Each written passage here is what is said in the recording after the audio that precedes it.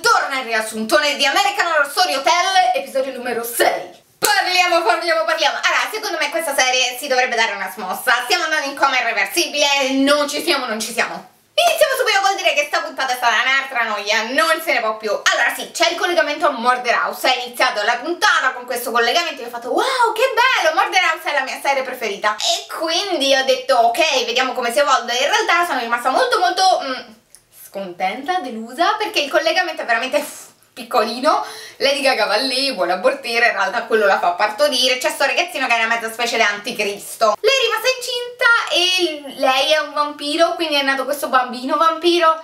Però sinceramente questa idea mi è sembrata molto copiata dal finale di Murder House, però... Uh, che noia. Quindi non mi ha convinto, non mi ha convinto il collegamento. Avrei voluto qualcosa di un pochino più sostanzioso Tipo che ne so, Lady Gaga è stata sposata con uno dei personaggi che conoscevamo già in Murder House O boh, non lo so, qualche personaggio che avevamo già visto In realtà era suo marito, quello tanto decantato Oppure lei è stata trasformata da un personaggio che già conoscevamo. Mi aspettavo qualcosa del genere e invece no. È praticamente solamente un luogo quindi anziché lì da un'altra parte boh l'ho trovata una cosa veramente troppo flebile. Inoltre anche questa cosa del ragazzino a me sinceramente non è che mi convince. Sembra un'esperienza veramente tipo là mettiamoci una toppa aggiungiamoci questa cosa in corso. Si vede che non è stato pensato dall'inizio perché ci sono veramente dei buchi macroscopici di trama quindi boh sinceramente non non lo capisco, non lo giustifico molto, non ne capisco il senso, visto che eh, cioè, Lady Gaga viveva per questi ragazzini vampiro a quanto pareva, invece no, vive per sto ragazzino, quindi...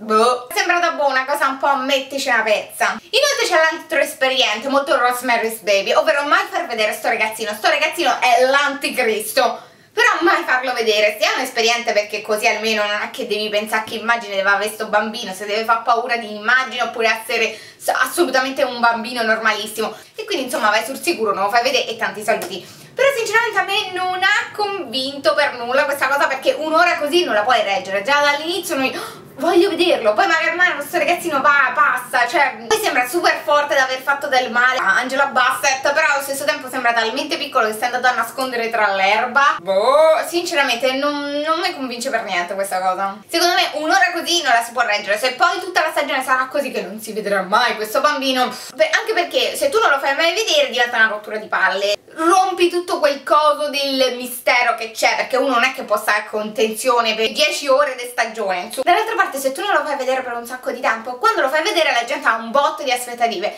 Quindi qualsiasi cosa tu farai vedere molto probabilmente rimarremo delusi. E quindi boh non mi è piaciuta questa cosa. Mm, poi c'è tutta l'altra questione. Lady Gaga finalmente riuscì a sposare con quello però veramente è una trama secondo me molto molto flebile. Quello è gay insomma gli piace perché la trovo veramente molto tirata troppo per le lunghe anche questa. Troppo stiracchiata, qualcosa che non mi convince. Sempre in questo episodio c'è il racconto dedicato alle due ragazze svedesi due palle, potremmo dirlo, troppo lungo. Ma chi se ne frega? Sono dei personaggi che saravamo già tutti dimenticati che non ce ne frega niente. Siamo alla vera protagonista della puntata il personaggio di Cross Vigny che è una merda epica. Sei una merda. Punto. E praticamente sta a fare sguattera da Lady Gaga. Ha abbandonato la figlia dalla nonna abbiamo capito gli ha fatto proprio tanti saluti però non si è capito la figlia stava da nonna, nonna poi dall'amica boh il padre gli viene in sogno il ragazzino e scopre le bare. Allora lei si fa aiutare da lì si fa no no nascondi tutto nascondi tutto. E insomma dice fammelo passare per matto a questo bla bla bla si diverte con quelle là le due svedesi e fa dai su fatelo diventare matto. Cioè ma perché? Ma che ti ha fatto st'uomo? Santo cielo cioè porello quello là semplicemente mi aveva fatto una telefonata mentre il ragazzino stava ai giusto e si deve vedere. Tu perde il ragazzino a fiago odia la moglie che è una stronza epica cioè sinceramente bah, poveraccio. Impazzito il ragazzino della Lady Gaga si nasconde nella valigia quella è veramente un espediente di trama veramente molto tirato per i capelli, possiamo dirlo? Mm, non convince, ok? Lui spara a sto ragazzino, la figlia dice Ah, sei matto papà, sei matto papà E boom, rispuga fuori Closy Vigny Cioè, era irreperibile, tu figlia che no, non rispondevi, non sapevi dove stavi Ma magicamente sei apparsa E i ragazzini vampiro, che fine hanno fatto? Hanno smesso di mangiare sangue?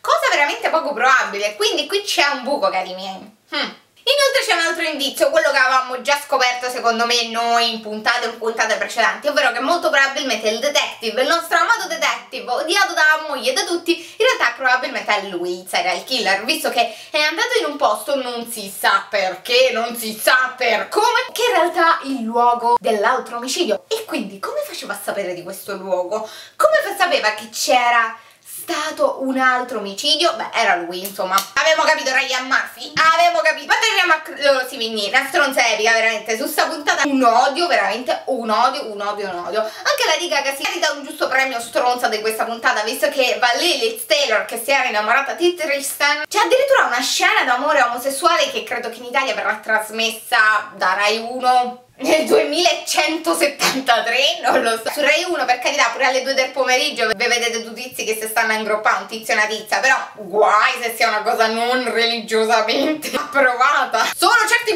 buchi sono ammessi. Insomma, lei dica che è una stronza e, e si è giocata la fiducia di Liz. Liz era lì che faceva tutto per lei. Si sentiva in colpa per essere innamorata, insomma, tutti odiano. L'unica che gli sta ancora appressa Lady Gaga è Closy Vigny, una cretina, che gli salva il figlio, va lì da Lady Gaga fa no, ma non ti preoccupare, tu hai salvato mio figlio ma salvato da chi? stava tanto bene con voi ha trasformato in vampira e va fatto un pazzi per anni per dire no Dio dove sta dove sta l'ha salvato what? inoltre ti tratta come una squadra e te sta lì a leccargli il culo au agredina boh o c'è tipo un suo piano malefico che vuole mm, ucciderlo, eh, insomma, non lo so, sinceramente, oppure, eh, sinceramente non ha molto senso tutto ciò, cioè, è un personaggio moscio, moscio, moscio, moscio, che sta lì Ah, eh, eh. Cioè, riesce a fare la capetta solamente col marito che quello è uno scocciato, poraccio, la fa più. Buttato fuori dalla polizia, la figlia godia, la moglie godia senza alcun motivo. Sei innamorato del fantasma, non lo so, che gli manca sto tizio. Ce l'ha tutte. Insomma, questa puntata è stata veramente... Mm, mi è piaciuta per niente. Stiamo andando verso il precipizio, però il punto è che Lady Gaga da essere la capetta sta essere odiata da tutti, quindi secondo me tutti vogliono la sua testa. Mm. Closy Migni è una stronza, appunto, almeno in questa serie, poi nella sua sua vita di tutti i giorni, non lo so però è un personaggio stronzo moscio che è ancora peggio perché io i personaggi stronzi li adoro però i personaggi stronzi e mosci no e quindi sinceramente il collegamento a Murder House mi ha deluso il bambino demoniaco un pochetto mi ha deluso perché secondo me questo espediente del non te lo fammo vedere non te lo faremo vedere mai poi te lo fammo vedere ed è una cagata non mi convince del tutto. Closy Vigny tu palle, cioè ogni volta che compare o è una mosceria oppure fa una stronzata epica contro quel tuo poveraccio, non so, lo odia il marito, ma perché te ci sei messa insieme? Perché tu sei sposato? Poi ritorna a casa per rompi i coglioni al marito e dici sei matto, eh, sei matto tesoro mio, sei matto. E la bambina dove la lasciamo? La porti con te? No, no, piazza la nonna, ciao bella, cioè, ah, via spedita così, proprio levati dal cazzo, amore mio, no. Sinceramente questa puntata è veramente sempre più sapere voi che cosa ne pensate, se anche voi fate video, perché ho visto alcuni che mi seguono fanno anche loro video su American Horror Story. Se volete linkatemi tranquillamente qui sotto, molto probabilmente andranno nello spam, quindi io li dovrò attivare, voi avvisate. Grazie mille per aver visto questo video, grazie mille se siete iscritti al mio canale, grazie mille se vi è piaciuto il video avete messo mi piace, siete molto gentili. Qui sotto trovate il link per tutti i miei social network se vogliamo continuare a parlare anche lì e noi ci vediamo ad un prossimo video. Ciao!